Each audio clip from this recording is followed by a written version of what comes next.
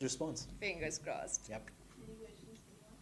Okay so Bigg Boss 15 is also going on क्या आपके कोई दोस्त है बिग बॉस 15 के घर में Uh, for now, as in only Karan, I think I who I know जो है और वो बहुत अच्छे तरीके से परफॉर्म कर रहा है जितना मैं उसे सोशल मीडिया पे देखता हूँ और I am sure that he is killing it and it's towards the final stage I don't know but I hope that he really wins.